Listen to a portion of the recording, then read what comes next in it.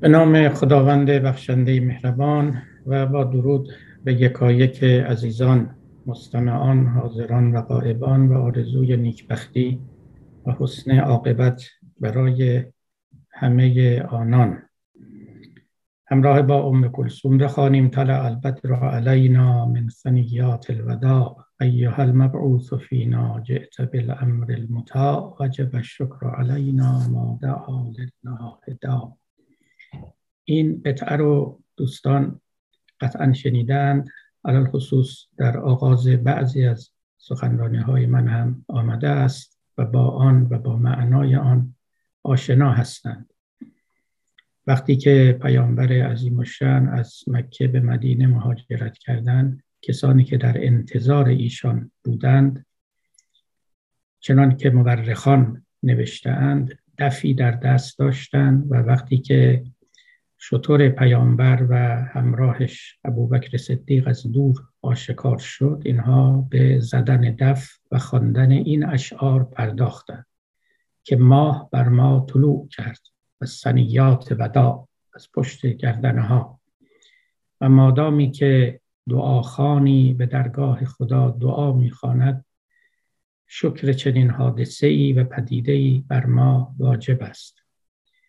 و بعد گفتند که ایها المبعوث فینا جئت بالامر المطاع. ای پیامبری که در میان ما مبعوث شده ای اوامر تو مطاع و متبع است. ممکن است چون اکنون در دهه فجر قرار داریم پاره بپندارند که ما این ابیات رو به اون مناسبت اختیار کرده ایم. چنین چیزی در عزم و نیت من نبوده است.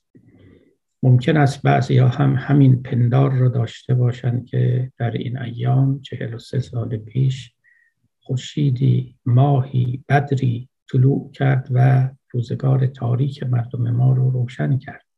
شاید ابتدا چنین میپنداشتند و میپنداشتیم و چنین امیدهایی در دل میپروراندیم. اما دریقا که به علل و دلائل مختلف نه وعده های انقلاب چنان که باید و شاید برآمد و وفا شد و نه امید مردمان تحقق یافت و دلخوشی براشون حاصل شد. و به همین سبب اکنون که به گذشته نه چندان دور خود می نگریم و حوادثی که در طول این چهل و سه سال بر مردم ما گذشته است بر آنها نظر می کنیم آن را بسیار دور از آن چیزی می یابیم که انتظارش رو می کشیدیم و انقلابی برای آن کردیم. گناه نه انقلاب یک گناه بود که به پای کسی نوشته شود. انقلاب جوششی بود. در میان مردم به سبب حوادثی که بر آنها رفته بود یک صدا همه خواهان تغییر بودند و بخت یاری کرد و قرانهای میمون باعث شد تا اون چه که مردم می‌خواستند و برای آن کوشیدند و خون دادند و شهادت پذیرفتند یعنی انقلاب تحقق یابد و رژیم شاهی و سلطنت 2500 ساله برای همیشه منقرض شود. و استبداد سلطانی جای خود رو به تعبیر اقبال لاهوری به دموکراسی روحانی بدهد. اما متاسفانه این چنین نشد. اینکه چرا این چنین نشد مورد و محط بحث های بسیار بوده است و خواهد بود. کسانی هستند که از پیشرفت انقلاب راضیند و معتقدند که انحرافی صورت نگرفته و قافله انقلاب از مسیر راستین خود منحرف نشده بیرون نرفته. و ما به سوی تمدن بزرگ اسلامی روانه هستیم و در پیچ تاریخ قرار داریم چرا که رهبر کنونی انقلاب می‌گوید و اگر از این گردنه و از این پیچ بگذریم اونگاه مرغزارها و سبززارها و دشتهای وسیع و خرم پیش روی ما خواهد بود و قدر زحمات و محنت هایی که کشیده ایم خواهیم دانست. و خواهیم دید که خداوند پاداش اون محنت ها و رنج ها و خونبه های آنها رو پرداخت کرده است. اما خب منتقدان بسیاری هم هستند که چنین نمی اندیشند و معتقدند که نه انحراف کوچک بلکه انحرافات عظیم در این مسیر رخ داده است. به طوری که امروز تقریبا وارونه آن چیزی پدید آمده است که میپنداشتیم و می‌خواستیم. چرا چنین شد؟ یک عامل و یک علت ندارد. ده ها عامل و علت در اینجا دخیل است و انصاف دادن و حق هر کسی رو به جای خود نهادن و پا از گلیم عدالت و انصاف بیرون نکردن کار دشواری است. درست است که روحانیان ما در این زمینه مقصرند و بسیار مقصرند. و تئوری انقلاب ما یا بی تئوری بودن انقلاب ما هم در اینجا بسیار دخیل است. درست است که این فقه فرسوده صفوی که تنها متاع و بزاعت دست روحانیان بود اون هم بسیار مقصر است. و درست است که پاره از هواها و هواجس نفسانی که در همه ما هست قدرت طلبی ها و محرومیت هایی که قبلا دیده ایم همه اینها هم در میان آمد و در کار آمد تا اینکه حوادث تلخی رخ بدهد و رقم زده شود. با همین احوال نقش دشمنان رو نقش کسانی که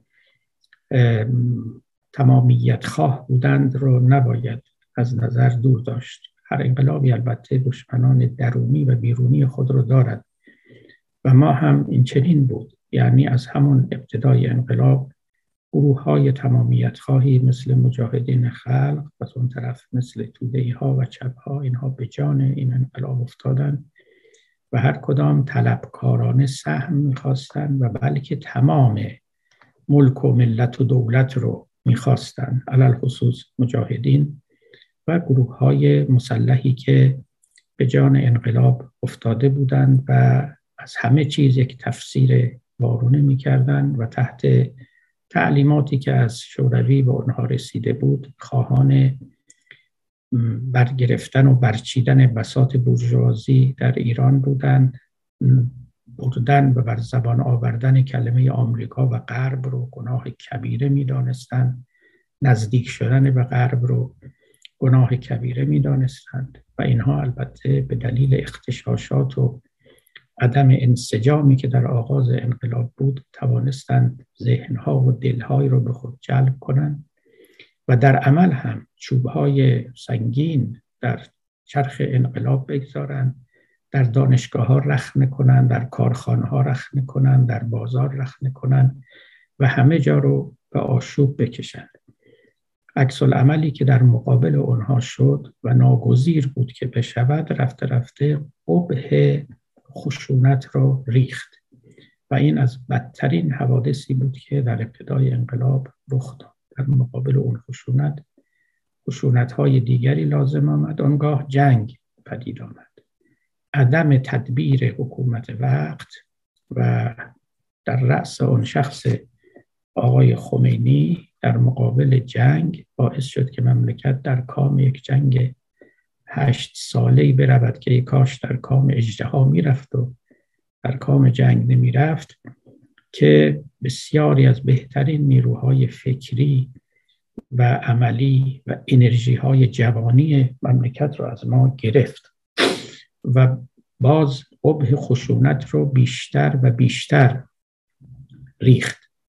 و ترویج خشونت رو تحسین کرد و اون رو یک کار واجب و موفق برای دفع دشمنان دانست. و پس از آن هم حوادث دیگری که پس از دیگری آمد دشمنی های بیرون تسخیر لانه جاسوسی یا سفارت آمریکا و این بی تدبیری ها که بر هم انباشته می شد باعث شد که مملکت در موقعیتی قرار بگیرد و کارش به جای برسد که یک دوست خوب و صمیمی در میان دول عالم نداشته باشد.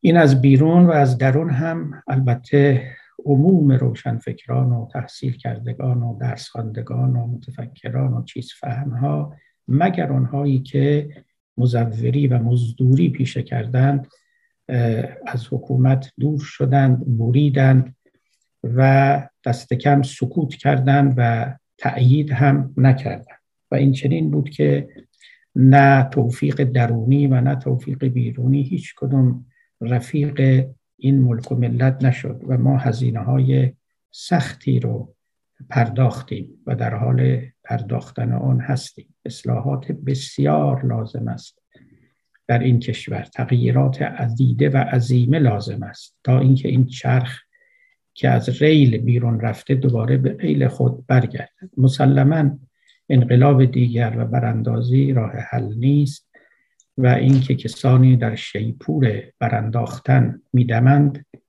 راه رو غلط می‌روند و آدرس نادرست می‌دهند. انقلاب همین است که دیدیم و چشیدیم و کشیدیم و دوباره همین خواهد بود. مردم ما همون مردمن شرایط جهانی از روزگار بدتر است و ذخیره های کشور بیش از همیشه ته کشیده است و بنابراین خدای نکرده وقتی ما به جان هم بیفتیم عاقبتش نامعلوم است بلکه معلوم است.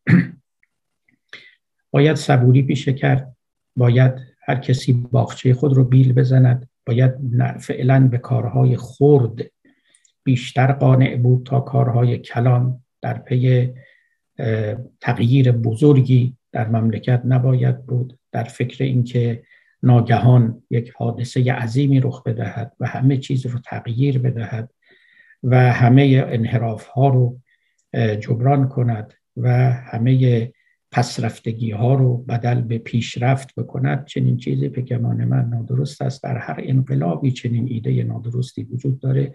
که فکر می‌کنن که یک ماشین رو که از چند جا خرابه ناگهان همه جای او رو تعمیر خواهند کرد و این ناشدنی است تعمیر کردن باید به تدریج صورت بگیره. این پیچ و مهره اونگاه اون پیچ و مهره آنگاه اون پیچ و مهره. و صبوری لازم داره و همه کشورهای جهان هم که روی بهروزی رو دیدند این صبوری رو پیشه کردن یک شبه به جایی نمی‌توان رسید. ما انقلاب ها رو در تاریخ دیده ایم و انقلاب خود ما نزدیکتر به ماست.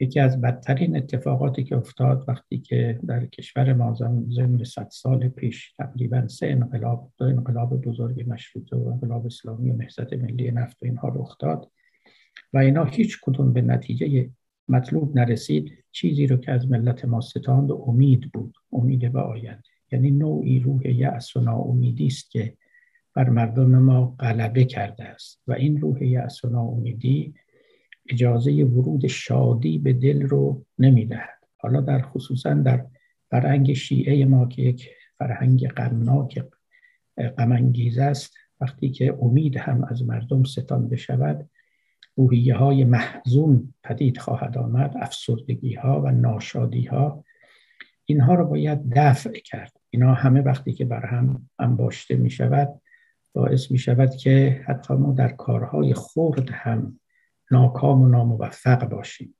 باید به کارهای کوچک امیدوار باشیم همین کارهای نیکو رو انجام بدیم. فرض کنیم فردا کلید این مملکت رو به دست یکی از ماها بدهند به یه گروهی از ماها بدهند حالا می‌خوایم چیکار بکنیم؟ با کدام مردم؟ جز اینکه باید با آدمایانی فرهیخته با فضیلت وطن دوست و انسان دوست مملکت رو اداره کنیم. خب همینا رو باید فراهم کرد همینا رو باید تربیت کرد. اینها یک شبه نخواهند روید. و این کار مثل باغبانی و کشاورزی و دانه افشانی صبوری می‌خواهد. آب صبورانه باید باغبانی کرد باید آبیاری کرد و هر کسی به کار کوچکی که مشغوله همون رو قدر بداند. حتی اگر یک شاگرد رو تعلیم می‌دهد. این بلایی است به جان ما افتاده که هر کدوم ما می‌خوایم رهبر بشیم می‌خوایم کار کلان بکنیم می‌خوایم کل مملکت رو نجات بدهیم در حالی که دوربر خانه خود ما ویران است و به فکر اونها نبوده ایم و نیست. باری این توضیح به مناسبت ایام و دههی که در روح هستیم. اما اون ابیاتی هم که ام کلثوم خان چرا که گفتم متناسب هست با بحثی که در پیش داریم و از کتاب کیمیای سعادت می‌خوانیم و اون ابیات مورد استشهاد ابو حامد غزالی هم قرار گرفته است. برای اینکه بگوید آواز خواندن غنا و سما کار جایز و گاه ممدوحی است و در حضور پیامبر غنا کردند و سماع کردند و آواز خواندند حتی دف زدند و پیامبر انکار نکرد نهی و تقبیح نکرد و همین نشان هم است که ایشان اون رو تقریر کرد یعنی تصویب کرد و پسندید و اون رو در جمله قبائه یا محرمات نیابد خب نوبت گذشته این رو من خوب است اینجا عرض بکنم که وقتی که شما به فتاوای بزرگان علمای شیعه و اهل سنت. حالا اینجا خصوصا اهل سنت رو من در نظر دارم. نگاه کنید واقعا رأی غزالی در اینجا رأیی است که جزو استثناها به شمار می رود علتش همین است که غزالی در این مقام یک فقیه محض نیست و از بیرون فقه هم کمک گرفته است. فقط به روایات یا به آیات استناد نکرد. به اونها هم استناد کرده. ولی از جاهای دیگر هم الهام گرفته است. یعنی همون بحث قبض و بستی که من سی سال پیش نوشتم که فقه از بیرون خود مشروع می شود و باید بشود. خواندیم و باز هم در آراء و سخنان غزالی خواهیم دید. یک قول از یک صوفی در حقیقت پیشتاز قافله فکری غزالی شده است و او اینکه از ابو سلیمان دارانی که موسیقی لا یجعل فی القلب ما لیس فیه بل یحرک ما فیه. سما البته کلمه موسیقی در اینجاها هیچ جا به کار نمی رود. موسیقی کلمه است که تازگی ما به کار می‌بریم و البته در زبان عربی هم آمده است و البته لاتین است و موزیک و اینا که همه می‌دانید در گذشته یا غنا می‌گفتن یا سماع می‌گفتن یا ضرب به آلات می‌گفتن و امثال اینها و اگر هم می‌خواستن که تعبیر منفی و مضموم از آنها بکنن لحو و لعب و فسق و فجور و غیره. در فارسی هم خونیاگری ما می‌گفتیم و در ادبیات فارسی از خونیاگران آواز خانان بودند می‌گوید که سما چیزی را که در دل نیست به دل نمی افزاید بلکه اون چرا که در دل است می شوراند. این رو بارها من گفتم و همین الهام بخش جناب غزالی بوده برای اینکه فتوای فقیهانه خود رو در راستای قرار بدهد که در میان فتاوای فقیهان سنی و شیعی یک استثناست. یک استثناست. یعنی نه موافق فتاوای فقیهان حنفی است. اینها رو همه رو من جستجو کردم. نه فقیهان شافعی نه مالکی نه همبلی و نه طرفداران اینها. با اینکه خود جناب غزالی متعلق به مکتب شافعی است در مکاتب فقی اهل سنت با این همه خود او هم یک فقیه بود و اهل افتاع بود و صاحب رأی و صاحب نظر بود و این چنین نظر داده است. خب فتوای غزالی در دو کس بسیار مؤثر افتاد. یکی در یکی از اهل سنت یعنی جناب مولانا جلال الدین مولوی که بسی فراتر از غزالی رفت چون که خواهم گفت. و یکی هم در یک فقیه شیعی به نام مرحوم ملا محسن فیض کاشانی داماد ملا صدرای شیرازی که فتوای او هم در میان فتاوای فقیهان شیعی یک استثناست. و این بسیار جالبه که ببینید وقتی که شجاعتی و تحوری از فقیهی برمیخیزد و سخن دلنشین خرد پسندی می‌گوید اونگاه چگونه وقتی که به دست سخن شناسان می افتد مورد استفاده قرار می گیرد و گاه می تواند یک ملتی رو نجات بدهد. شما همه می دونید یکی از حوادث نیکویی که در انقلاب, انقلاب ما رخ داد این بود که موسیقی تقریبا حلال شد. خب موسیقی که حلال شد آقای خمینی البته با اگر و اما اون رو حلال کرد اما دیگه رفته رفته مردم به قیود اون هم نیندیشیدن و مملکت ما صورت و سیرت جامعه ما صورت و سیرت جامعه دینی ما صورت و سیرتی پیدا کرد که حقیقتا غیر قابل پیش بینی و غیر قابل تصور بود. برای اینکه اهل دیانت و اهل تقوا و تشرع می‌دانند که روحانیون ما با موسیقی و با غنا یعنی آواز خوندن چه رفتاری و چه مواجههی داشتند اون رو اگر هم حلال می‌دانستند می‌گفتند فقط در شب زفاف اون هم در میان زنان.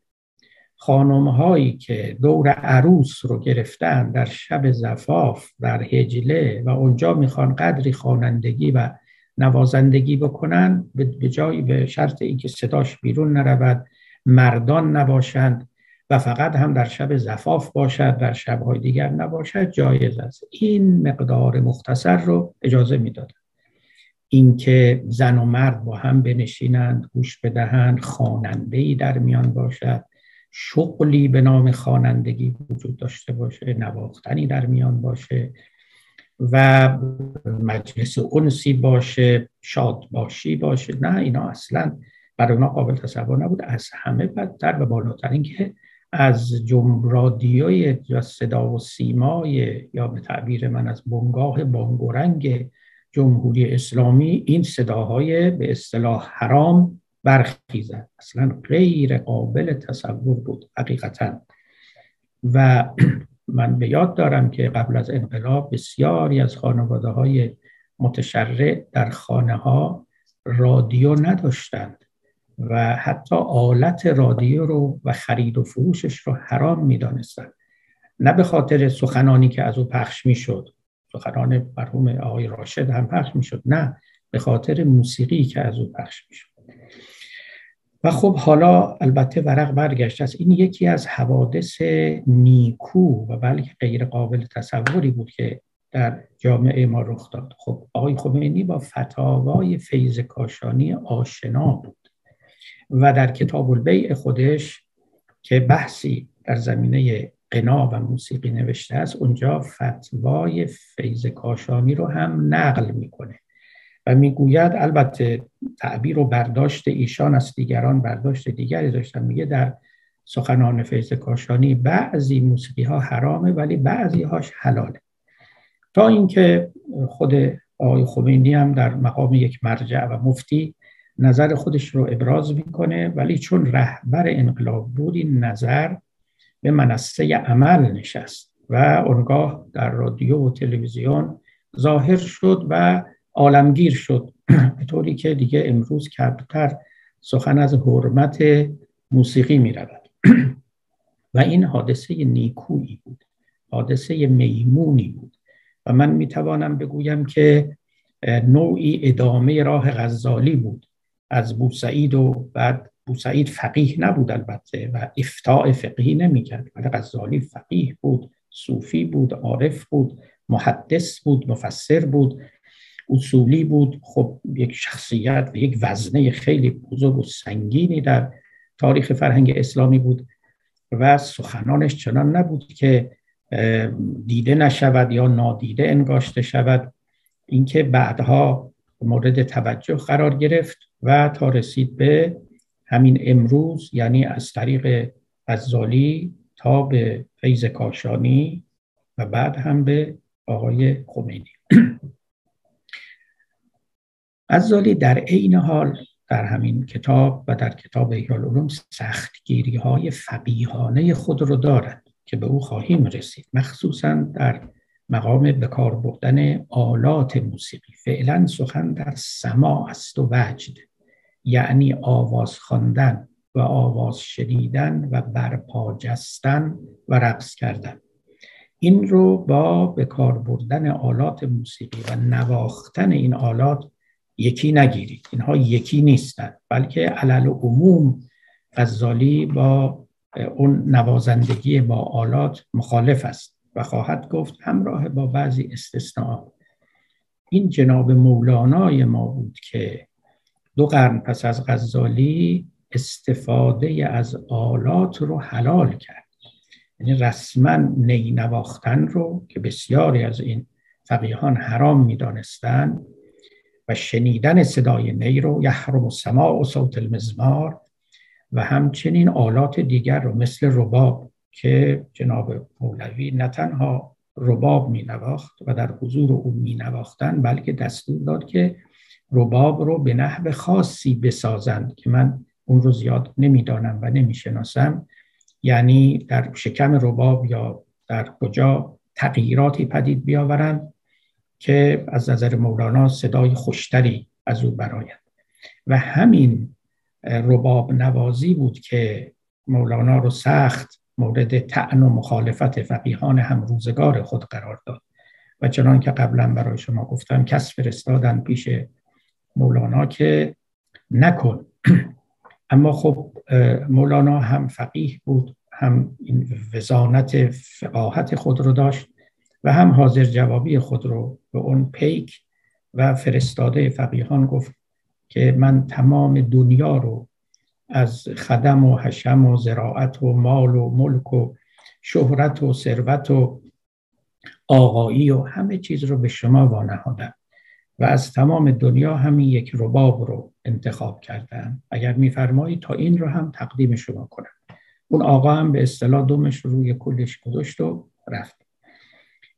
نواختن رباب در مجالس یه چیز فوق تصور فقیهان بود. حتی فقیهانی غزالی معاب این کار رو جناب مولوی باب کرد. نی و رباب. دو تا آلت که سخت مورد تعن و تخطعه فقیهان بودن. در میان فقیهان ما هم حتی فرض کنید آقای خمینی هم که ببینید حتی اکثر آواز خواندن رو حلال کردن. در مورد آلات موسیقی سخن چندانی نگفتند به خاطر اینکه تقریبا اونها حرمتش از نظر فقیهان همه فقیهان مسلم بود. حالا چه بعضی فقیهان اهل سنت که مکروه می‌دونستن و چه کثیری از آنها که حرام و غیر حلال می‌دانستند خب نوبت این مقدمه شرط بود لازم بود تا برویم به سوی دنباله کلام جناب غزالی. یادتون باشه در نوبت قبل گفتیم که مولانا چیز غزالی گفت که اما اینجا می‌گوییم در صفحه 407 که حکم سما از دل باید گرفت. خیلی این مسئله مهمی است که یک فقیه بگه به دلت نگاه کن. حکم سما از دل باید گرفت. امروز این رو می‌تونم اینجوری بگم. تقریبا پس از انقلاب اسلامی کار به اینجا رسیده که میگن حکم سما یا حکم موسیقی رو از عرف باید گرفت. به جای دل عرف رو نهادند و این هم پیشرفت و تحول بسیار نیکوست. یعنی عرف اگر یک موسیقی رو قبیح میشه جلف میشه مارد مبتزل میشه مارد ناسالم میشمارد این رو باید رها کرد و فرو نهاد و به تعبیر شرعی اون رو باید حرام دانست. اما وقتی که عرف اون رو یک چیز سالمی مییابد غذای روحی مییابد در اون نشاط روحی مییابد این خیلی دریغ است که ما اون رو فرو بگذاریم و به یک تحریم ساده بسنده کنیم. اینجا غزالی می‌گوید که حکم سما را از دل باید گرفت که سما هیچ چیز در دل نیاورد که نباشد بلکه آن را که در دل باشد فرا جنباند. این همون سخن ابو سلیمان دارانی است که از سما لا یجعل فی القلب ما لیس فیه بل یحرک ما فیه بلکه آن را که در دل باشد فرا جنباند یا بشوراند. هر که را در دل چیزی حق چون سما اون را زیادت کند وی را ثواب باشد. و هر که را در دل باطل است وی را بر سما عقاب بود. و هر که را دل از هر دو خالی لیکن بر سبیل بازی بشنود و به حکم تب بدان لذت یابد سما وی را مباح است. بنابراین از نظر غزالی ما سماعی داریم که ثواب داره یعنی مستحب سماعی داریم که عقاب داره یعنی حرامه و سماعی داریم که نه ثواب داره نه عقاب داره مباح است. یعنی نه پاداش می‌دهن و نه کیفر و اشکالی نداره. حالا غزالی از اینجا به بعد دیگه سخنان او شنیده میشه چون وارد استدلال میشه. و تقسیم بندی و تفریع فروع و تشقیق شقوق به اصطلاح فقیهان و می‌خواد احکام این انواع مختلف رو برای ما بگوید که کلا بر پنج قسم خواهد شد چنان که در پایان خواهد آورد. ملاحظه کنید یکی از دلایلی که حتی در میان فقیهان شیعه هم هست بر حرمت سماع آوردن. من اینجا اصلا بحث موسیقی نمی کنم سماع رو دارم یعنی غنا یعنی آواز خواندن. آواز خوش خواندن آواز شادی آور خواندن آواز محرک خواندن. این رو میگن سماع. یکی از دلایلی که پاره از فقیهان و شاید مفسران آوردن این است که در یکی از آیات قرآن هست که و من الناس من یشتری له و الحدیث لیزل بهی عن سبیل الله کسانی هستند که مشتری له و الحدیثن یعنی سخن لحو تا مردم رو گمراه کنن. روایاتی نقل کردن که یکی از مصادیق له و الحدیث یعنی سخن لغو و سخن یاوه عبارت است از قنا عبارت است از سما. لحو است لحو الحدیث است یعنی حدیث هم یعنی سخن. اصلا موسیقی و اون نوای تار و اینها نیست سخن انسانی است سخنی که از گلو و هنجره برمیخیزد. و من الناس من یشتری پاره از مردم مشتری لحو الحدیثند یعنی سخنان یاوند. برای چی؟ برای گمراه کردن دیگران. لیوزل بهی ان سبیل الله. در پاره از روایات و تفاسیر آوردن که یکی از مصادیق لحو الحدیث یا سخن یاوه عبارت است از سماع و قنا خب اون وقت بعضی ها همین سماع و غنا رو یعنی لحو الحدیث رو توسعه دادن و تسری دادن به نواهای موسیقایی. یعنی نواهایی که از آلات موسیقی برمیخوزن در حالی که این توسعه این اکستنشن به هیچ وجه قابل قبول نیست. برای اینکه اصلا حدیث یعنی گفتار یعنی سخن ما اونچه که از آلات موسیقی برمیخیزه حدیث نمی‌خوانیم گفتار نمی‌خوانیم. اونها نواهایی است که از اونجا برمیخیزه. خب پس لحو بودن از نظر اونها دلیل حرمت است. دقیقا اینجا غزالی مقابل همین سخن ایستاده. میگه بله ما چیزهای لحو داریم ولی حرام نیست. لحو گاهی توی زندگی لازم هم هست. و ایشون لحو رو از جنس تفریحات میشمارن از جنس جوک گفتن و لطیفه گفتن و خب اونا که سخنان جدی نیست اونا سخنان لحوه. بله ما سخنان لحوی هم داریم که بده ولی نه هر لحوی و غیر جدی بودنی بد است یا گناه است یا حرام است. حالا بشنویم از غزالی. پس سما بر سه قسم باشد. قسم اول اونی که به قفلت شنود و بر طریق بازی و این کار اهل قفلت بود. بعد وقت خود غزالی میگه و دنیا همه لحو و بازی است. خود قرآن میگه که انما دنیا لحو و لعب و زینت و تفاخر و تکاسر فی الاموال و اولاد قرآن میگه دیگه این دنیا لحو و لعب است. بعد به قول مولانا گفت دنیا لحو و لعب است و شما کودکید و راست فرماید خدا. همه یه که تو این دنیا اسباب بازی ما کودکی داریم با اینا بازی می‌کنیم. چون اسباب بازی برای کی می‌سازن؟ برای کودکان دیگه. دنیا له و لعب است. بعد مولانا تو قرآن دیگه نمیگه شما آدمیان کودکانی. مولانا این استنباط رو از اون می‌کنه. گفت دنیا له و لعب است و تا اینجاش مال قرآن. شما کودکید و این دیگه مال مولاناست راست فرماید خدا. خدا هم که دروغ نمیگه. خب؟ غزالی همین رو میگه. میگه و دنیا همه لحو و بازی است و این از آن بود. یعنی این لحو هم از همون اسباب بازی های دنیاست. و روا نباشد که سما حرام بود بدان سبب که خوش است. که خوشی ها حرام نیست. خب اگر حالا یه چیزی مایه خوشی ما میشه مثلا شما یک لطیفه ای میگید و همه ما رو به خنده میافکنید. تبسمی بر لبهای ما ظاهر میشه. ما حالمون موقتا خوش میشه. یا کسی آوازی می‌خوانه. چون ما حالمون خوش میشه بعد میگیم حرامه. بدان سبب و روا نباشد که سما حرام بود. بدان سبب که خوش است که خوشی ها حرام نیست. و آنچه از خوشی ها حرام است نه از آن حرام است که خوش است. یعنی نه به اون سبب حرام است که خوش است بلکه از آن حرام است که در وی ضرری باشد و فسادی. آواز برقان خوش است و حرام نیست و سبزه و آب روان و نظاره در شکوفه گل خوش است و حرام نیست. پس آواز خوش در حق گوش همچون سبزه و آب و روان و شکوفه است در حق چشم و همچون بوی مشک است در حق بینی و همچون طعم خوش است در حق ذوق و همچون حکمتهای نیکو در حق عقل.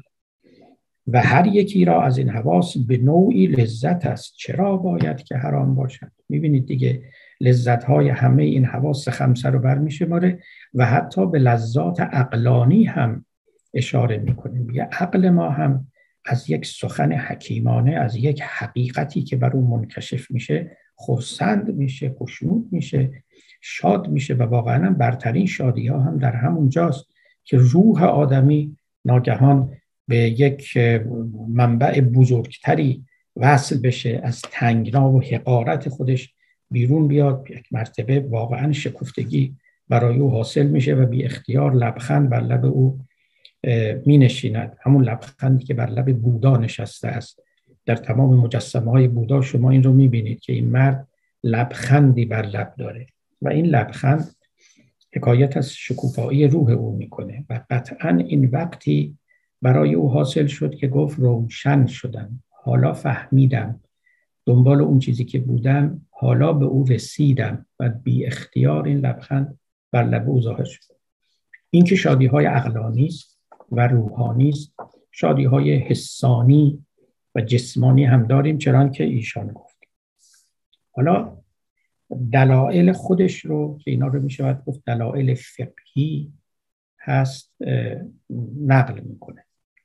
در فقه شیعه تقریبا روایتی که در حرمت موسیقی از پیامبر رسیده باشه وجود نداره. یک روایت ضعیفی هست که ایشون گفتن که سما نفاق رو در دل چنان میرویاند که آب سبزه را در خاک. چیزی شبیه بیشتر روایت هایی که آمده است از امامان شیعه است که سماع رو و قنا رو بیشترم کلمه قنا هست. قنا رو تحریم کردن که شاید به اونها هم بپردازیم.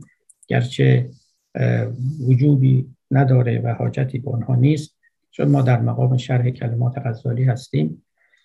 این روایت هایی که اینجا الان غزالی نقل می‌کنه اینها متعلق به اهل سنت است و در کتاب یکی از سهاه آمده است که خب غزالی به همین سبب هم به اونها اعتماد می‌کنن چون شش کتاب هست در جوامع حدیثی اهل سنت که به نام سهاه سته نامیده می شود که دو تای از اونها اهم و اشرف از بقیه هستند به نام صحیح مسلم و صحیح بخاری.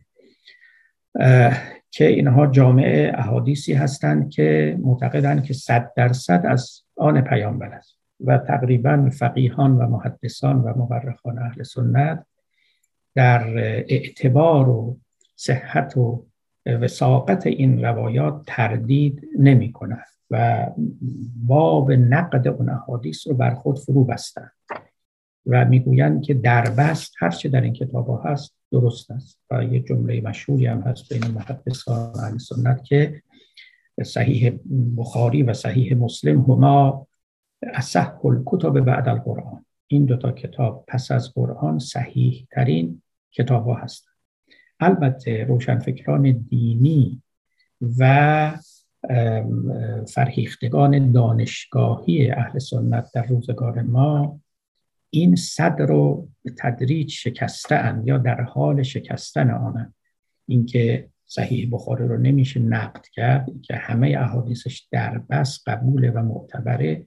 از چیزایی است که اصلا با critical rationalism یعنی با عقلانیت نقاد روزگار ما و با حرفه اصیل و پخته تاریخ نگاری و تاریخ شناسی به هیچ وجه سازگاری ندارد. هیچ چیزی رو ما نداریم این روزگاری سر که خود قرآن رو زیر سوال بردند و و اینکه چگونه جمع شد و چگونه این آیات در سوره های مختلف نهاده شدن بعدها چه بر سر قرآن آمد؟ همه اینا محل بحث دیگه. حالا صحیح بخاری که جمع آوری شده یک نفر محدث است در قرن سوم.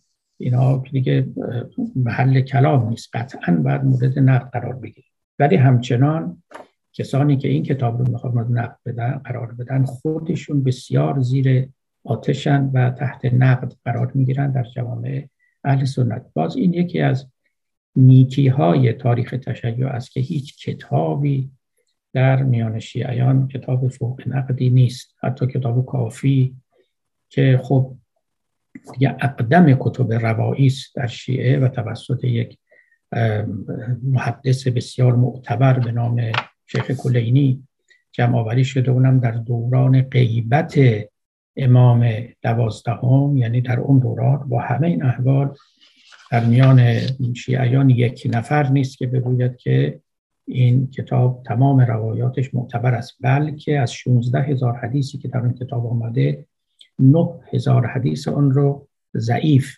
تشخیص دادن. این به گمان من مقتضای نقادی است و مقتضای اقلانیت مورخانه است اقلانیت محدثانه. باری جناب غزالی از ناحیه پاره از محدثان اهل سنت تحت نقد بوده.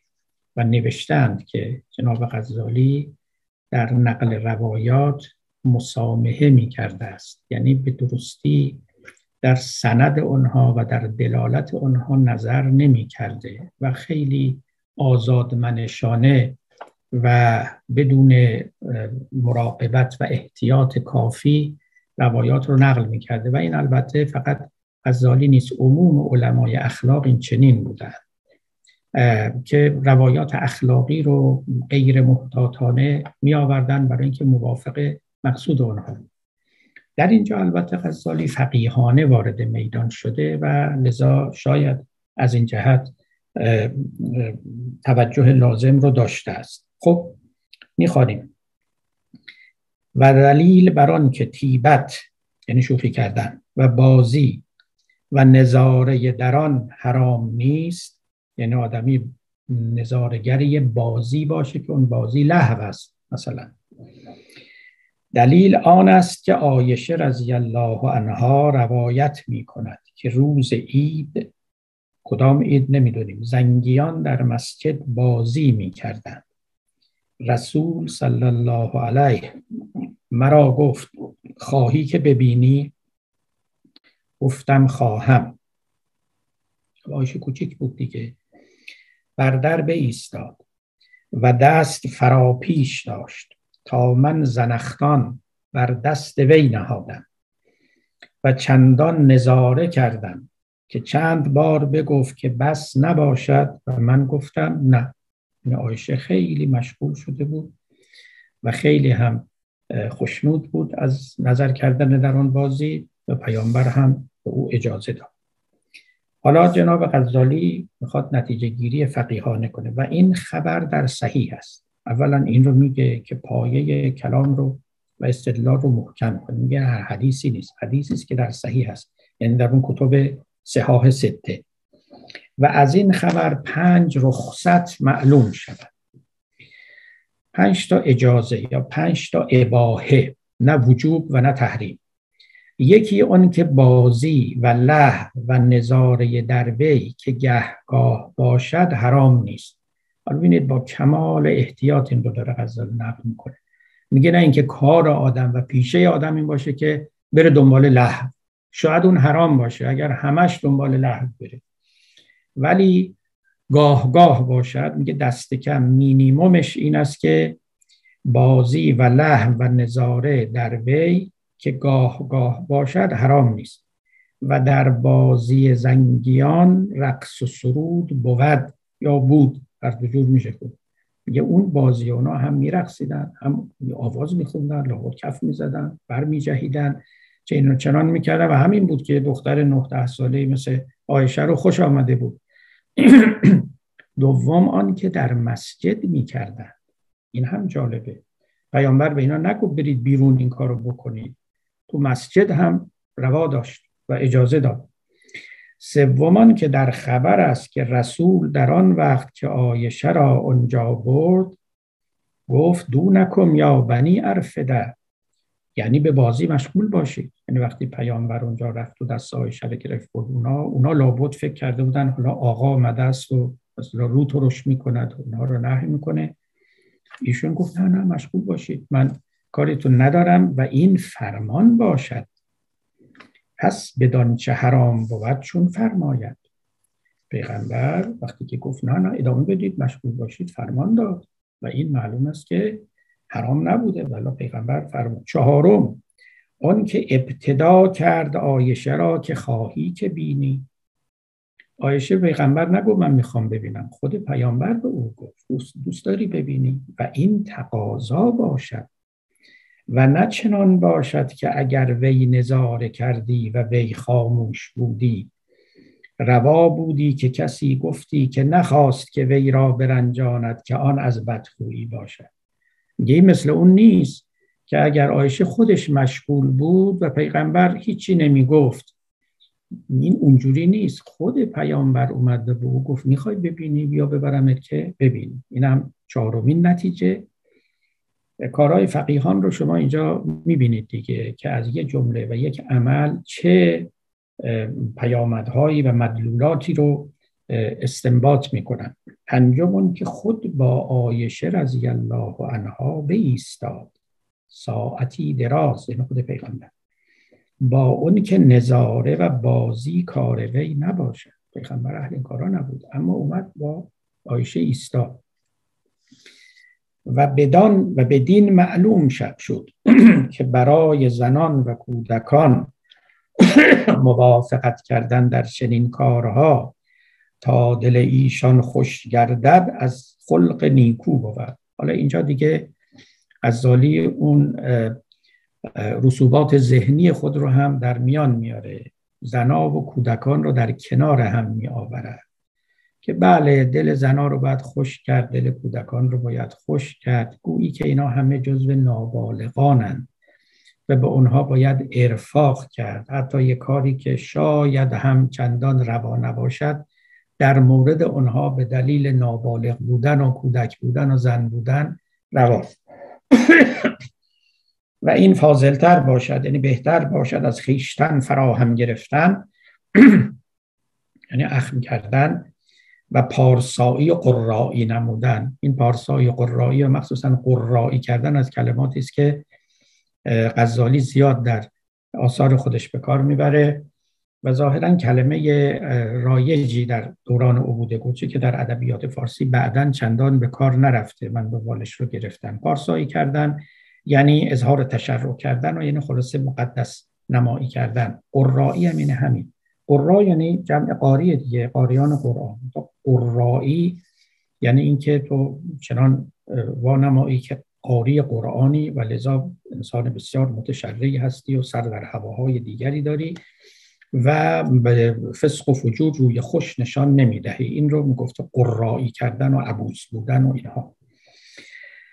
خب اینا استنتاجات جناب غزالی است. از این پنجمی که بگذریم که آراء و ذهنیات دیگر غزالی وارد کار شده اون نتیجه گیری ها خیلی جالبه و مهمه و اگر روایت معتبر باشه که غزالی اونو معتبر می‌دونه می‌تونه مستند فتوا قرار بگیره. یعنی از آنها می‌توان استنباط و استخراج کرد که به بازی و به لحو نظر کردن و ایستادن و وقت زیادی رو مصروف او کردن هیچ اشکالی نداره و مباهه.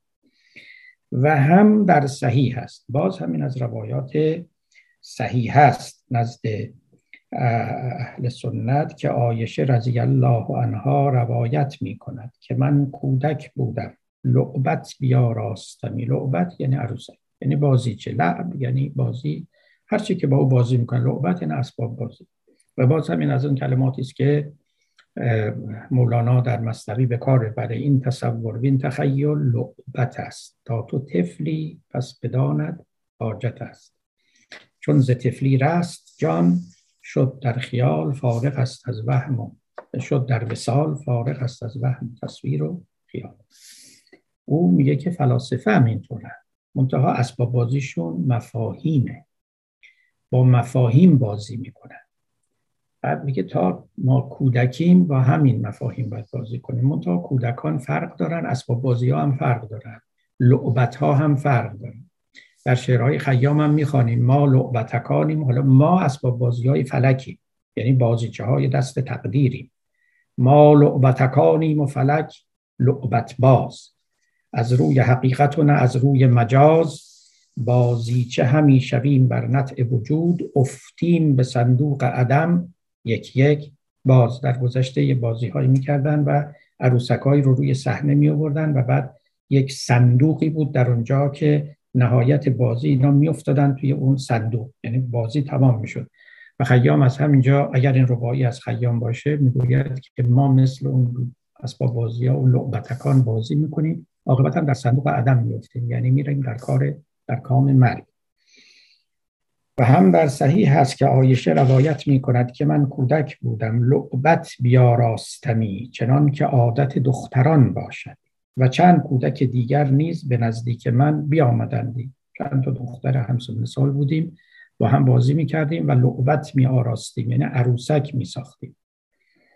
چون رسول صلی الله علیه در آمدی آن دختران باز پس شدندی و بگریختندی. پیغمبر که آمد اونا رفتن. رسول ایشان را به نزدیک من فرستادی آقا باز اونا رو صدا زد گفت نبیین با عایشه بازی کن یک روز دخترکی را گفت این لعبت ها چیست؟ گفت این دختران منند. گفت این چیست بر میان ایشان بسته ای گفت این اسب ایشان است. گفت این چیست بر این اسب؟ گفت پروبال اسب است. رسول گفت اسب را بال و پر از کجا بود؟ گفت نشنیدی که سلیمان را اسبی بود با بال و پر؟ رسول صلی الله علیه بخندید تا همه دندانهای وی پدید آمد. توی روایت از زهی که حتی زهرت نواجزه یعنی دندانهای پسین پیغمبر اینطور دهانش باز شد و خندید. پیغمبر کمتر میخندیدن. این خنده شدید بیشتر تبسم می‌کردن. اینکه در اینجا آمده که بخندید تا همه دندانهای وی پدید آمد یعنی معلومه که خیلی خنده از ته دل بوده و ایشان رو کاملا به خنده افکنده. و این از برای آن روایت می کنم تا معلوم شود که قرایی کردن باز همون کلمه و روی ترش داشتن و خیشتن را از چنین کارها فراهم گرفتن یعنی دامن در چیدن از دین نیست خاصه با کودک و با کسی که کاری کند که اهل آن باشد و از ویزش نبود. و این خبر دلیل آن نیست که صورت کردن روا بود. صورت کردن مجسمه ساختن. که لعبت کودکان از چوب و خرقه بود که صورت تمام ندارد که در خبر است که بال اسب از خرقه بود. اونجا حالا غزالی باز می‌خواد اینجا ما را از یک استنباط غلط هم باز داره. میگه نباید فکر کنی که مجسمه سازی حلاله. برای اینکه اونا مجسمه های ناتمام میساختن. مجسمه کامل ساختن حرامه مثلا اونجا میگه لعبت کودکان از چوب و خرقه بود که صورت تمام نداره. خب و در خبر خرقه یعنی پارچه. یعنی مقدارش از چوب بود مقدارش از پارچه بود. یک چیز علکی سر هم کرده بودن. و مجسمه کامل نبود. صورت سازی نبود. و هم آیشه روایت می کند که دو کنیزک نزد من دف می زدند و سرود می گفتند روز عید. رسول صلی الله علیه در آمد و بر جامع بخفت بر جامع بخفت یعنی در رخت خواب. و روی از دیگر جانب کرد. روش اون طرف کرد. ابو بکر رضی الله عنه در آمد و ایشان را زجر کرد. زجر یعنی منع کردن. ما تو فارسی زجر رو به معنای شکنجه و آزار می‌گیریم. در عربی نه زجر یعنی نهی منع. و ایشان را زجر کرد و گفت در خانه رسول و مزمار شیطان مزمار یعنی نی. و آنچه که با او می نوازند و صدا از آن در می آورند رسول گفت یا ابا بکر دست از ایشان بدار که روز عید است. خب پس دف زدن و سرود گفتن از این خبر معلوم شد که مباه است و شک نیست که به گوش رسول رسیده باشد و منع کردن وی ابوبکر را از آن کار دلیل صریح است بر آن که مباه است. خب تا اینجا جناب غزالی با اتکا و استناد به روایات معتبره سهاه سته اهل سنت و با استدلالات فقیهانه برای ما اثبات کرد که حتی اگر سما و نواختن بعضی آلات مثل دف روز عید و غیر روز عید باشه حتی اگر از سر له و بازی باشه حرام نیست و پیامبران رو روا می‌دانسته است. برای همگان و خود او هم حتی نظاره می‌کرده. خب این نوع مباهش حالا میریم سراغ نوع حرام سما. اسم دوم که در دل صفتی مضموم بود. چنان که کسی را در دل دوستی زنی یا کودکی بود.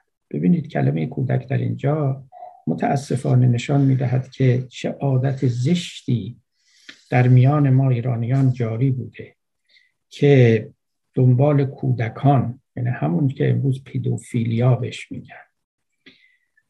بودن و اونها رو دوست داشتن و با اونها عشق ورزی کردن براشون شعر گفتن اونها رو در مجلس خود حاضر کردن و اونها رو ببخشید لمس کردن دستمالی کردن حتی بالاتر از اون کارهای دیگه کردن چیزهای نسبتا رایج و شایعی بوده با کمال تأسف و من این رو در بحث از اشعار بوستان سعدی خدمت عزیزان گفتم که تو شعرهای حافظ شما می‌بینه ای نازنین پسر تو چه مذهب گرفته ای که خون ما حلالتر از شیر مادر است و غیره و غیره. به تنگ چشمی آنطور که لشکری نازم که حمله بر من درویش یک قباوت من نمی‌خوام بگم اینا این کاره بودن. اما عادت این عادت زشت و این رسم بد چنان جاری بود که به روانی در اشعار شعرهای ما می آمد و امروز هم ما می‌خوانیم اون کنوتیشن اون تنین رو برای ما نداره دیگه. اما وقتی که در عمق اون برویم خواهیم دید که متاسفانه برخواسته از یک چنین فضای مسموم قبارالود قیرالودی بوده است که چنین کار صد درصد ناروایی رو روا جلوه می‌داده است. خب حالا در اینجا غزالی به همین اشاره می‌کنه. میگه کسی را در دل دوستی زنی یا کودکی بود. که سماع کند در حضور وی تا لذت زیاده شود. یا در غیبت وی بر امید وسال تا شوق زیادت شود. یا سرودی شنود که در وی حدیث زلف و خال و جمال باشد. و در اندیشه خیش بر وی فرو آورد. یعنی بر او منطبق کند. این حرام است. و بیشتر جوانان از این جمله باشد. خب حالا این رو دیگه شما نگاه کنید. ایشون نمیگه که به طور کلی اگر میل جوانی رو به زن برانگیزد. این رو نمیگه. چون اون به لحاظ فقهی معلوم نیست حرمتی داشته باشه. میگه اگه یک زن معین یک معشوقه معین ما دیگه دور کودک رو همینجا قلم می‌کشید در ذهن کسی باشه و وقتی که سماع میشنود شعری خوانده می شود شعر عاشقانه خوانده می شود و او می شنود اون شعر رو در ذهن خود بر اون زن فرو آورد یعنی بر او منطبق کنم میگه این حرام باشه این یک خیال فاسد است یک هوای فاسد و باطل است. حدیث سرودی شنود یعنی حالا اگر بخوایم خیلی راحت بگیم اگر کسی اصطلاحا امروز بنشینه پای آواز آقای مرحوم شجریان.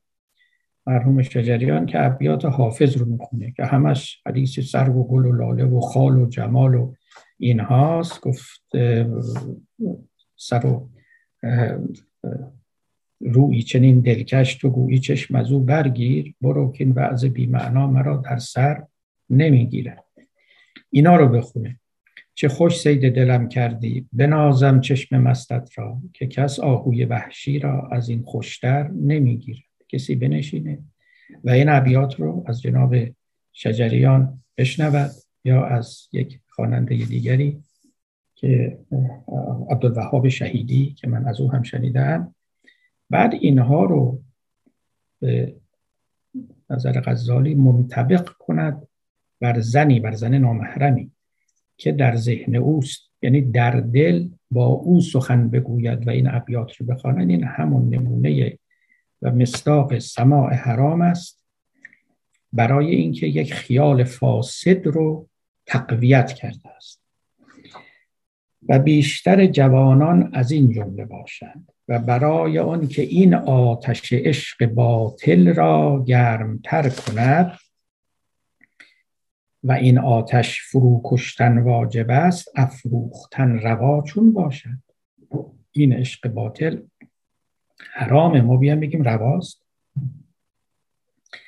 حالا یه تخفیفی هم میده. اما اگر این عشق وی را با زن خیش بود یا با کنیزک خیش از جمله تمتع دنیا بود و مباح بود تا اونگاه که طلاق دهد یا بفروشد اونگاه حرام شد. حتی اگر این اشعار رو بشنود یا بخواند در خطاب به خانم حلال خیش مادامی که همسر اوست. اما پس از آنکه او رو طلاق داد دیگه این ابیات رو اگه بشنود و به یاد اون زن مطلقه بیفته باز هم کار حرامی کرده است. در اینجا غزالی نمی‌گوید که اگر به طور کلی تمایل او میل غریزی او به جنس مخالف برانگیخته شود. میگه یک زن معین. یا حالا کودک معین شرم سارانه می‌گوییم اینجا. میگه این حرامه. و قسم سوم اون که در دل وی صفتی محمود باشد که سما اون را قوت دهد. این قسم سومی که ثواب داره و سما در اینجا پاداش می آورد این است که یک صفت محمود یعنی صفت پسندیده یک میل نیکو و مشروع در درون آدمی باشد و سما اون رو قوت بده. خب، به قول مولانا قوتی گیرد خیالات زمیر بلکه صورت گردد از بانگ و سفید وقتی اینجا می‌گوید چهار نوع هست اینجا که دوستان حوصله کنن ما این رو هم می‌خوانیم این چهار نوع رو و سخن امروز پایان. نوع اول سرود و اشعار حاجیان بود. در صفت بادیه و کعبه که آتش شوق خانه خدای را در دل بجنباند و از این سماع موز بود کسی را که روا بود که به حد شود. می‌گوید که اولیش همینه که ما چاووش خانی میگیم وقتی که به مکه میرن همراه خودشون تبل می‌زنند و شعر می‌خوانند و شوق ره سپاران کعبه رو برمی انگیزن اونها رو مشتاقتر به زیارت خانه خدا می‌کنن. این بسیار عالی همچنین وقتی که به جنگ می و بدین نزدیک بود سرود غازیان یعنی جنگاوران و سماع ایشان که خلق را به غذا و جنگ کردن با دشمنان خدای تعالی آرزومند کند این را نیز مزد بود یعنی پاداش داره. و همچنین اشعاری که عادت است که در مساف بگویند تا مد دلیل شود. همون رجزخانی به اصطلاح. رجز اصلا شعرهایی بود که جنگاوران هنگامی که می‌خواستن اقدام به جنگ کنن اسب رو هی می‌کردن و شمشیر رو از نیام میکشیدند و می‌رفتن و بعد رجز میخواندن رجز بعدها تبدیل شد به یک وزن شعری خاصی که اون رو بهر رجز می‌دانن ولی عمدتا در جنگ بود و رجز خواندن. میگه فلانی برای من رجز خونی می‌کنه یعنی گویی که اظهار پهلوانی می‌کنه گویی که صحنه جنگ است. بله. فراوان در ادبیات عربی اعراب این رجزها زیاد است. میخوندن و هر کی تفاخر به دیگری می‌کرد و, بعد اظهار پهلوانی و, بعدا مشغول جنگ می‌شدن و اون باد و ها و اون لاف ها همه از میان می‌رفت. خب بعد اون وقت از زالی اضافه می‌کنه. میگه که در وی نیز مز بود شنیدن چون جنگ با کافران بود. به شرط اینکه با اما اگر با اهل حق باشد این نیز حرام بود. نوع دوم سماع حلال بلکه سناع مستحب که بر او مزد بود و پاداش بود و ثواب بود سرود نوحه باشد که گریستن آورد و اندوه را در دل زیادت کند. حالا ببینیم چه اندوهی این خیلی مهمه. و اندرین نیز مزد بود. یعنی پاداش بود. چون نوهگری بر تقصیرهای خود کند بر گناهان خود در مسلمانی و بر گناهان بسیار که بر وی رفته است و بدون چه وی را فوت شده است. چنان که نوحه داوود بود که وی چندانی نوحه ها کردی که جنازه ها از پیش وی برگرفتندی. خب حالا تو افسانه ها آوردن که بعضیا واقعا قش می‌کردن و از حال می‌رفتن و میموردن و خب فرض کنید که ما در روایات شیعه هم داریم در مورد خطبه متقین که من توفیق داشتم و اون رو شرح کردم و تحریر شد و تحت عنوان اوصاف پارسایان کتابی شد که اکنون در دست است. در پایان اون خطبه آمده است چون کسی بود به نام حمام حمام با دو چشم که اومد از امام علی خواست که برای او پارسایان رو وصف کنه توصیف کنه و ایشون هم شروع کرد. که چنینند و چنانند و فلان. بعد به پایان این خطبه که رسید یا هنوز پایان نیافته بر حال مرگ این مرد نقطه پایانی برای خطبه بود که یک مرتبه سعقه ای زد یعنی فریادی زد و افتاد و از دنیا رفت و مرد.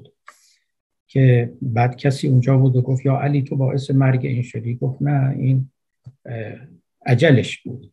بعد گفت خود خودت چرا نمیمیری؟ اگه این چیزها رو بلدی لالایی بلدی به اصطلاح ما چرا خوابت نمیره؟ خودت اینا رو بلدی و نمردی؟ اما به این گفتی و مرد و امام هم گفت خب این بله عجل مقدر او بود. باری این اتفاقات میافتاد که گاهی در اثر شنیدن شعری زیاد در حکایات آمده است که کسانی یا بیهوش و بیحال می شدن یا اصلا به مرگشون منتهی می شد وی یعنی داوود چندانی نوحه کردی که جنازه ها از پیش وی برگرفتندی.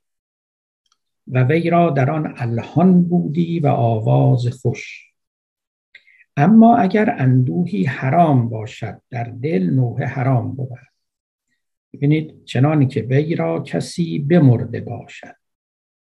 میگه این که کسی مرده بله آدمی غمناک میشه. حتی ممکنه که بگریه. اما اینکه کسی بیاد نوحه بخونه که شما رو بگریانه. هست این در غزالی هم میگه در فتاوای دیگر. این حرامه. حق نداریم ما مصیبت بخونیم برای وقتی که کسی مرده ای داره که حزن او رو افزونتر کنیم اندوه او رو و گریه او رو بیشتر کنیم.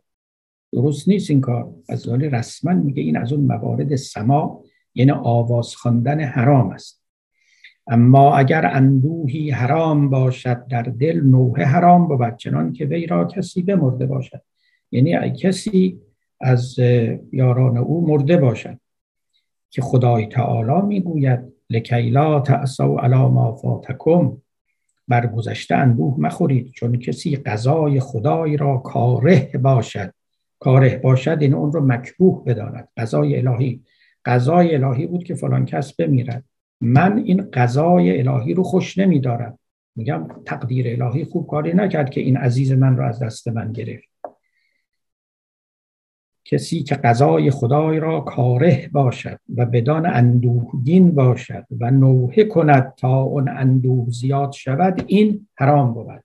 و بدین سبب است که مزد نوحگر حرام باشد و وی آسی بود. و هر که آن فراش نود هم آسی بود. بسیار جالبه. خیلی کتگوریکال یعنی به طور قطعی و جزمی همین ها رو داره بیان می‌کنه. این که آدمی اندوهگین میشه بحثی نیست این که پیش خود میگرید بحثی نیست و اینها طبیعی است و غیر قابل پیشگیری است. اما اینکه مجلس مصیبت درست کنن به یک کسی مزد بدن. بگن تو بیا آواز بخوان تا ما در مرگ دیگری بیشتر گریه بکنیم.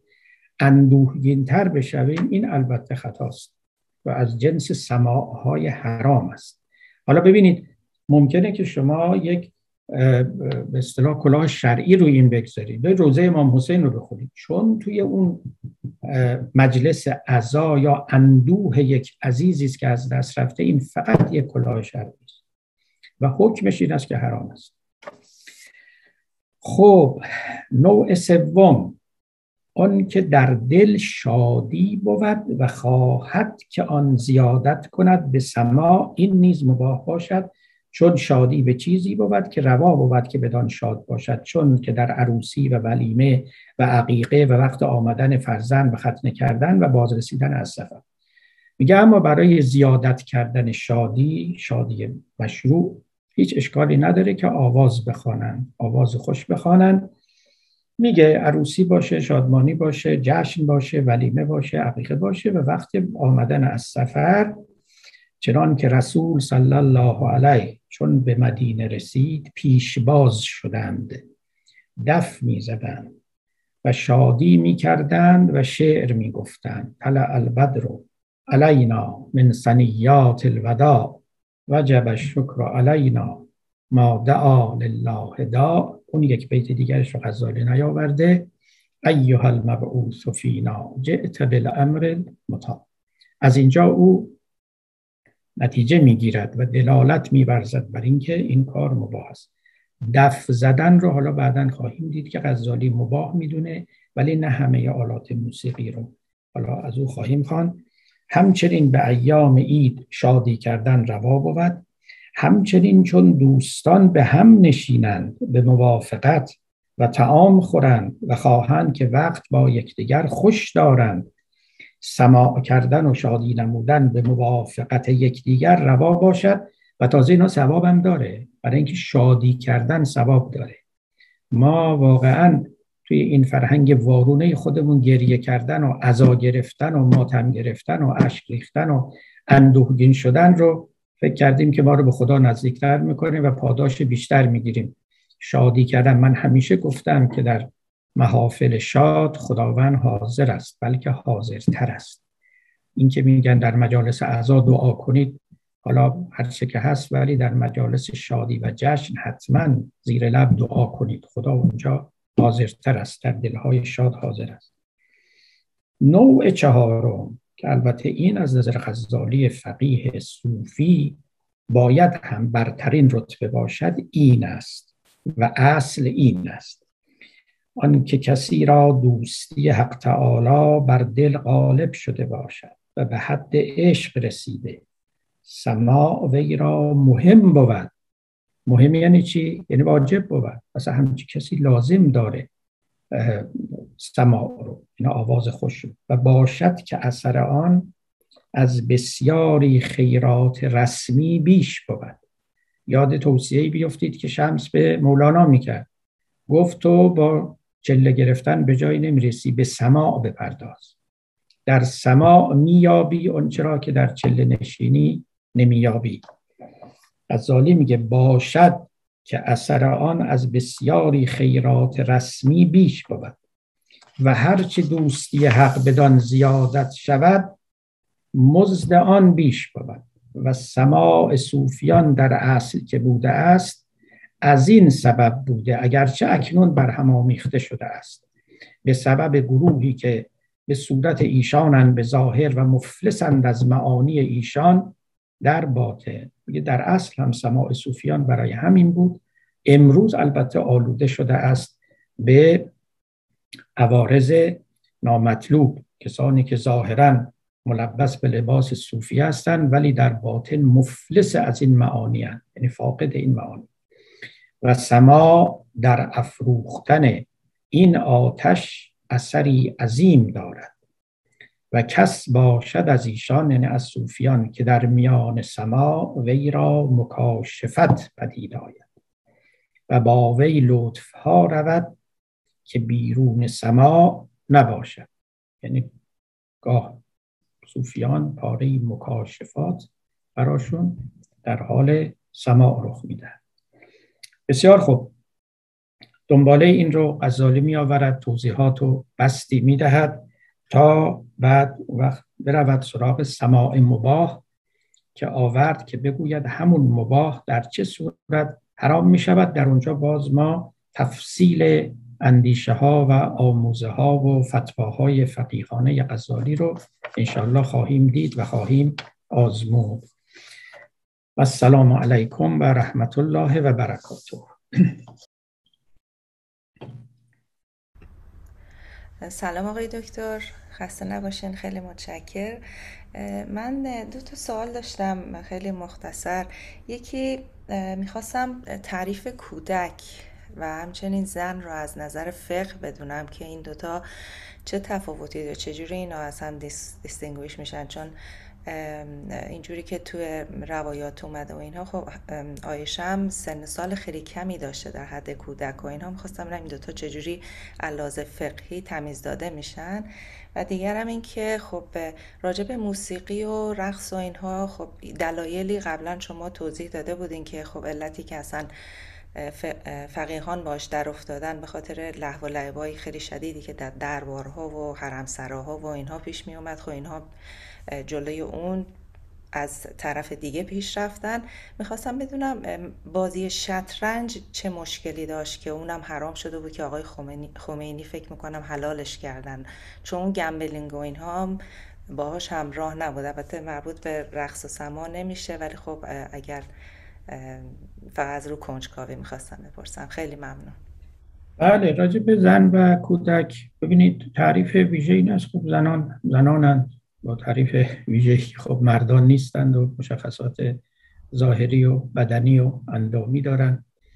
کودک خب کودک نابالغ در فقه کودک نه ساله است.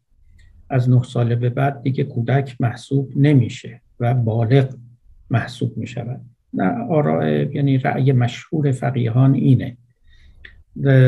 البته اخیرا در میان فقیهان ما اختلاف رأی هم پدید آمده. این اختلافات قبلا هم بوده ولی امروزه بیشتر مورد توجه قرار گرفته. پاره از فقیهان معتقدند که بلوغ در سیزده سالگیه. چون ببینید وقتی که میگیم بلوغ یعنی دیگه شخص بالغ مکلف و همه اختیارات و امتیازاتی رو که یک آدم بزرگ داره یعنی یک زن چهل ساله یک مرد چهل ساله داره یه دختر نه ساله هم داره. حالا فقط مسئله عبادت و روزه گرفتن و نماز خوندن و اینا نیست. مسائل مالی امضاهای او همه جا دیگه معتبر خواهد بود. مثل یک آدم بزرگ پنجاه ساله.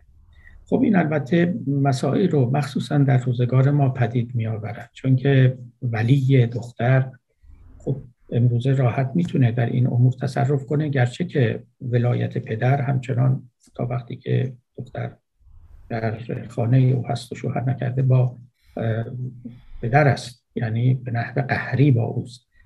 علا ای حال این مال اون وقته در مورد پیامبر اسلام هم خوب گفتن که ایشون آیشه رو در شش سالگی اگر این روایات و تواریخ درست باشه عقد کرد ولی تصرف نکرد تا در نه سالگی که او رو به خانه خود آورد. و دیگه آیشه از اون به بعد دیگه یک خانم بود به اصطلاح برای خودش و با پیامبر میزیست با پیامبر شوخی می‌کرد و محبوب ترین زن پیامبر بود جوانترینشون بود. تنها زن باکره بود که پیامبر گرفت و بعد هم خب روایات بسیار زیادی از پیامبر نقل کرد که خب اونا محل کلام است. یعنی دست کم محدثین شیعه و همچنین حدیث شناسان مدرن خیلی از اونها رو مشکوک می‌دانند یعنی میگن آنها را به آیشه بستند و آیشه چندان فرصتی نداشته که این سخنان را از پیامبر بشنود و نقل کند و غیره و غیره. به حال حد زن و کودک همین است به لحاظ فقهی. اما در مورد سوال دومتون یعنی این که این رأی که قنا به خودی خود حرام نیست بلکه به دلیل ملابسات و اون آلودگی هاست که حرام میشه این خب سخن همه کس نبوده. این سخن مال نادری از فقیهان بوده. مال فیض کاشانی است در میان اهل سنت یادم نیست کسی گفته این رو. شاید هم گفتن همون جزو نوادرن. و این خیلی ها روی قنا... حرمت ذاتی قنا بحث می‌کردن. مثلا به خودی خود حرامه. حالا می‌خواد در مجلس لحو باشه در دربار سلاطین باشه یا مثلا در مجلس شراب باشه در مجلس گناه باشه یا غیره. این جناب از فیض کاشانی بود و میگم یکی دو تا فقیه دیگه اینا گفتن نه. تواریخ اینجوری نشان میده که موسیقی و قنا و آواز خانی و زنان رو به آواز خانی آوردن و بابت آواز خانی به اونها مزد دادن و یه حرفه‌ای و شغلی و پیشه‌ای به نام آواز خانی پدید آوردن. اینها در اثر حمایت خلفا و پادشاهان دربار اموی و عباسی صورت گرفت که مجالسشون واقعا له و لعب بود. یعنی در آنها شرابخواری می‌شد در آنها اختلاط زن و مرد بود و بسی چیزهای دیگری که اونها از محرماتن و این نوع قنا جز الایت جزای اون مجالس و محافل بود. به این سبب به سبب آلودگی به گناهان دیگر حرام شمرده شده. اما اگر اینها در یک فضای پاک صورت بگیره یعنی همطور که غزالی هم در اینجا میگه دوستان به موافقت یعنی با رفاقت و خوشی و تیب خاطر کنار هم بنشینن حرامی هم در کار نباشه. و این موسیقی یا اون سماع کسی رو تحریک و ترغیب به کار حرام نکنه بسیار هم نیکوست بلکه یعنی حلال است و بلکه مستحب است. اینو پاره ای گفتن ولی شما به آرای فقها که مراجعه می‌کنی بیش خیلی هاشون وقتی که می‌خوان فتوا بدن به حرمت قنا میگن حرمت ذاتی قنا این خودش به خودی خود یک کار حرام است. اهم از اینکه همراه با حرام های دیگه صورت بگیره یا صورت نگیره. اما قصه شطرنج خب ببینید در باز نزد فقیهان گذشته در اونجا که من یادمه شطرنج می‌گفتن که خواه با برد و باخت باشه خواه با برد و باخت نباشه حرامه. اصلا عنوان این بود که شطرنج حرام است نرد حرام است. آقای خمینی ظاهرا استنباطش این بود که نه در گذشته هم همین شطرنج معنای دیگری داشت و بیشتر کار اهل فسق و فجور بود. مثلا میگن یزید شطرنج باز بود مثلا نرد باز بود. اینا متشرعین این کار رو نمی‌کردن پرهیز می‌کردن حالا به دلایل مختلف. و اینکه بعد آقای خمینی نتیجه گرفت که امروزه دیگه اینطوری نیست این فعل فعل حرام نیست یعنی اصلا چیز بدی نیست و مال فساق نیست و بیشتر از آن متفکران است و خلاصه همون بحث تغییر یعنی اینکه احکام وابسته به زمان و مکانن همون رو مطرح کرد و گفت که شطرنج حلاله. ولی این تازه رأی ایشان بود. یعنی خیلی از فقها هنوز هم هستن که من شطرنج حرام و طرفش نباید بله. سلام آقای دکتر. خیلی ممنون از صحبتاتون استفاده کردیم. آقای دکتر اینجور که فرمودین تو صحبتاتون غزالی خیلی یه جاهایی خیلی پیشرو فکر می‌کرده. مثلا همین که تشویق می‌کرده در واقع تفریح و و منعش نمی‌کرده. حالا اونجوری که امروز هم میگن حالا اهمیت داون تایم یا استراحت چقدر تاثیر داره. و معمولا تو حرف گذشته ها گذشتگان دیده نمی‌شده. ولی یه جاییش هم خیلی انگار سختگیرانه برخورد می‌کرده. مثلا اینکه فرمودین که اشعار حافظ یه جورایی گوش دادنش شاید حرام محسوب میشه. حالا احتمالا حافظ هم این اشعار رو همه رو در وصف مهارمش نگفته. و اینکه حالا خود حافظ هم در اون مکتب بوده و احتمالا با غزالی هم آشنا بوده یا پیروش بوده دقیقا نمی‌دونم. ولی یعنی از لحاظ خودش حافظ کار حرام می‌کرده اگر این اشعار در اون مکتب حرام محسوب می‌شده. خیلی ممنون. بله من ابتدا یک نکته رو بگم که کلی و دوست دارم که اون رو خدمت شما عرض کنم و همچنین دوستان دیگه و بعد میام سر سوال ویژه شما. گفتید که در یک جاهای غزالی پیشرو بوده. من با اجازه شما از این واژه خیلی خوشنود نیستم و بهترم هستی به کار نمیم کلمه پیشرو مترقی که در مقابل کلمه ارتجاع قرار می‌گیره اینا متعلق به فرهنگ مارکسیستیه و مبتنی بر یک تئوری در باب تاریخ که تاریخ پیش رونده است و هر چه که بعدا میاد لزوما بهتر از آن است که قبلا بوده. و لذا میگن که فلان فکر ارتجاعی یعنی عقبگرد است و به گذشته کهنه فرسوده منسوخ تعلق دارد و فلان فکر امروزی است و مدرن است و بنابراین پیشروست چنین چیزی چنین فرضی چنین اصلی هیچ اصالتی نداره. ما باید تابع دلیل باشیم. اینکه یه فکری در گذشته ابراز شده که با اندیشه های امروزین ما موافقت داره دلیل نیست که اون فکر درست بوده. دلیل هم نیستش که گوینده اون فکر پیشرو بوده مترقی بوده. من دیدم بعضیات از روحانیت میگه فلان حکم مترقی اسلام رو بیان بیان کنیم آخر تو کلاب و کباب هاست میشنیدم که یکی روحانی در دفاع از متعه ازدواج موقت می‌گفت بیاید این حکم مترقی اسلام رو بیان کنید. من حالا کاری به متعه حقیقی ندارم ولی اصلا این حکم مترقی یعنی چی؟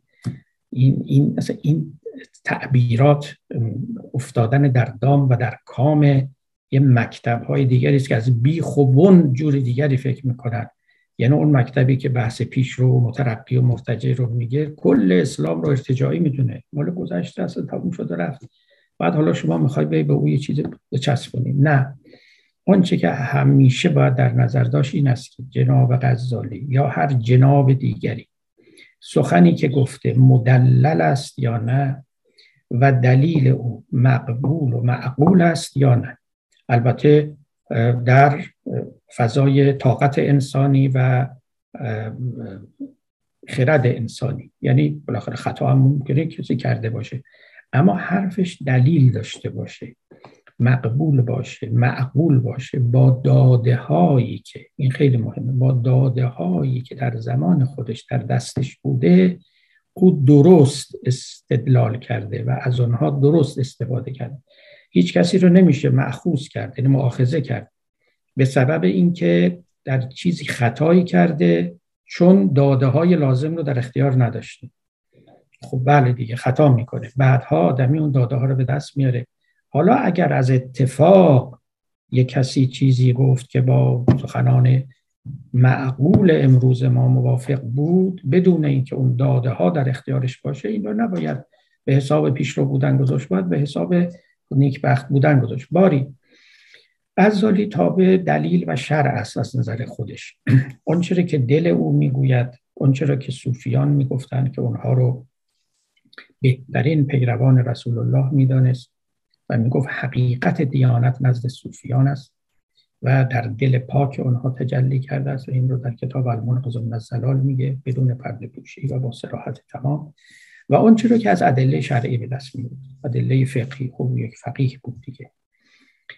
ایشون مطابق همونا سیر کرده و منم اینجا نشون دادم که چجوری از سهاه سته دلیل میاره چجوری از ابو سلیمان دارانی میاره و چگونه خودش با تحلیل اینها و با زبردستی تمام میکوشد که اون که مدلولات اینها استخراج بکنه و در مقابل ما بگذاره. بله ایشون به حال میگه که تفریح هیچ اشکالی نداره. لحو و لعب دنیا کلش لحو و لعب است. چیزی که آدمی رو خوش کنه چیزی که آدمی رو موقتا قافل کنه. چیزی اصلا یه جایی میگه در همون در همین باب است. در کتاب رو میگه لحو هم جدی است.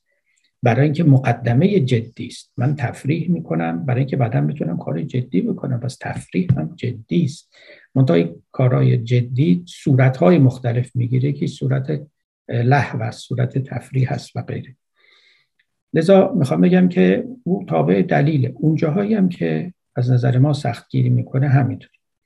اما بیایم سراغ حافظ و غزالی. ببینید حافظ اصلا دل خوشی از غزالی نداشته است. و چند جا هم تعریض های نسبتا سریحی به غزالی کرد. که دو جا که کلمه کیمیای سعادت رو به کار می‌بره حافظ خب معلومه که به کتاب غزالی نظر داده دیگه. حافظ بینید سه قرن بعد از غزالی است و فاصله تاریخی و زمانی بسیار داره. بیاموزمد کیمیای سعادت هم صحبت بعد جدایی جدایی. این کلمه کیمیای سعادت رو میاره ولی میگه که کل کیمیای سعادت این هستش که از هم صحبت بعد جدا میشه چرا این رو میگه؟ برای اینکه همین سختگیری های غزالیوار رو می‌بینه در کتاب کیمیای سعادت او و یار او و این رو نمیپسنده. و می‌گوید که اصل برای این هستش که آدم رفیق بد نداشته باشه که از معاشر ناجنس احتراز کنید. و با رفقای خوب بنشینه. بعد هم جناب حافظ خب نه خیلی برای خودش روایی و روانی قائل بوده و اهل کامجویی در زندگی بوده. این زهد و تقشف و تکلف غزالیوار رو در زندگی اصلا نمیپسندیده. اهل کامجویی بوده و اینکه من آدم بهشتی اما در این سفر حالی اسیر عشق جوانان محوشم. شهری است پر کرشمه و خوبان شهد دستم. تو هیس ورنه خریدار هر ششم. وقت در مدد کند که کشم رخت سوی دوست که سوی بود گرد فشاند زه مفرشم. گفتی ز سر عهد ازل نکته ای بگو. آنگه بگویمد که دو پیمانه درکشم و غیره و غیره. این همه مخالفتی که با زهد می‌کنه. مثلا سرمایه اندیشه غزالی زاهدی است. و حافظ از دشمنان اصلی و قسم خورده زهد است. نه زهد ریاکارانه بلکه زهد واقعی. میگه زهد واقعی هم فلسفه خوبی برای زندگی نیست. بعد آدم کامجو باشه. خدا حافظ میگن بسیار خوش آواز بوده خودش هم میگه حریف لحجه حافظ خوش لحجه خوش آوازم. قرآن میخونده به صدای خوش با چارده روایت و اهل موسیقی بوده اهل میگساری بوده اهل زهد نبوده اهل کامجویی بوده فلسفه او در زندگی این بوده. حتی اهل این بوده که بر قلم سون یعنی قلم خداوند خطا رفت. میگه پیر ما گفت که به نظر من پیر ما این غزالی. پیر ما گفت خطا بر قلم سون نرفت. آفرین بر نظر پاک خطا پوشش باد. چرا؟ برای اینکه غزالی تو احیاء العلوم استدلال می‌کنه که این جهان بهترین جهان ممکن است. درست شبیه اونچه که چند قرن بعد لایبنیتس در آلمان گفت که the best possible world این جهان بهترین جهان ممکن است. غزالی درست همین رو در کتاب التوحید و توکل در احیاء العلوم میگه که لیس فی الامکان ابدع مما کان. امکان نداشت بهتر از این بشود جهان. این جهان تنها جهان ممکن و بهترین جهان ممکن است. خب یعنی چی؟ یعنی خطا بر قلم سن نرفته دیگه. جناب حافظ چی میگه؟ میگه صوفی باده و اندازه خورد نوشش باد.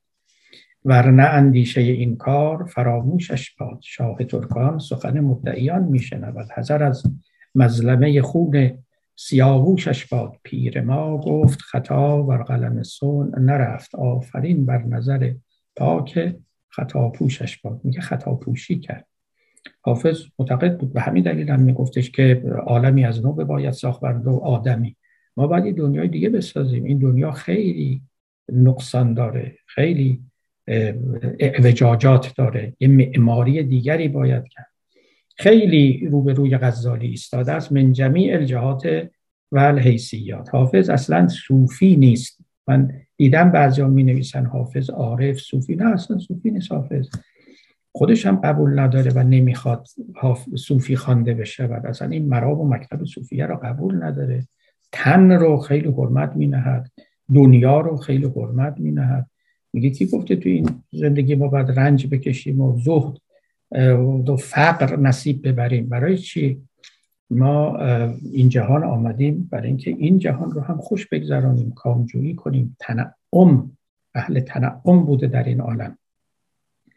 و مولانا هم اهل زهد نبود. البته نه مثل حافظ که زهد رو کاملا ترد بکنه ولی توصیه نمی کرد به زندگی زاهدانه متقشفانه سخت. ایرانه استخوانسوز. برای اینکه همه چیز رو سرمایه و سود رو به باد می‌دهد. بله بیش از این میشه در باب غزالی و حافظ گفت.